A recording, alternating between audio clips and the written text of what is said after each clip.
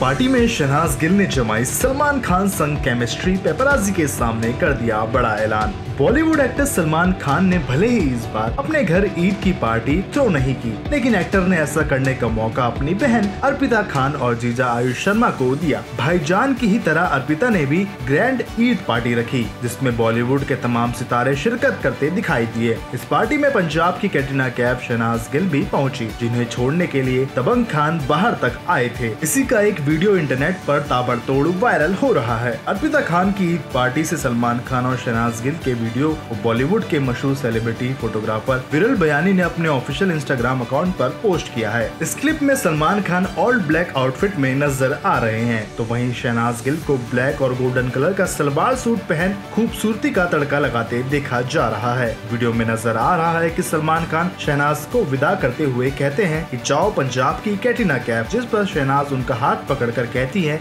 छोड़ कर आओ मुझे फिर क्या था? सलमान खान शहनाज को उनकी गाड़ी तक छोड़ने जाते हैं इस बीच शहनाज पेपराजी से कहती हैं, आपको पता है सलमान सर मुझे छोड़कर आने लगे हैं। दोनों की बातचीत का यही वीडियो फ़िलहाल इंटरनेट वर्ल्ड में छाया हुआ है और फैंस इस पर ताबड़तोड़ प्रतिक्रिया देखते नज़र आ रहे हैं। एक यूज़र ने वीडियो पर कमेंट करते हुए लिखा, शहनाज, हमेशा शहनाज ही रहेगी। दूसरे ने लिखा, सना होने के नाते सना फिर उत्साहित हो गई, क्योंकि सलमान सर उन्हें कार तक छोड़ने आए। एक अन्य ने लिखा, इस जोड़ी से तो नज़र ही नहीं हट रही। बताते चले कि सलमान खान शहनाज गिल की काफ़ी मदद करते हैं। हाल ही में सलमान खान की फ़िल्म कभी ईद, कभी दिवाली से शनाज के जुड़ने की खबर सामने आई है। हालाँकि अब तक इस पर सेलेब्स या मेकर्स की तरफ़ से ऑफिशियल मुहर नहीं लगाई गई है। वीडियो के आखिर में Siddharth Malhotra black and white attire में शिरकत करते हैं। साथ ही वो क्यारा अडवाणी को भी भीड़ से बचाते हुए पार्टी के अंदर ले जाते नज़र आ रहे हैं। कपल का ये वीडियो फ़िलहाल इंटरनेट वर्ल्ड में छाया हुआ है और दोनों के फैंस इस पर ताबड़तोड़ प्रतिक्रिया